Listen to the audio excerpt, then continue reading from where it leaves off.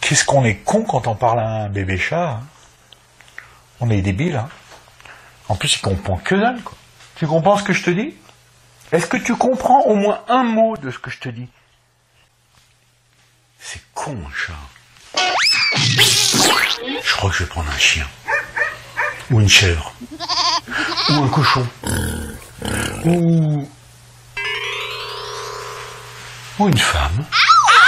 Hein? Après tout, pourquoi pas?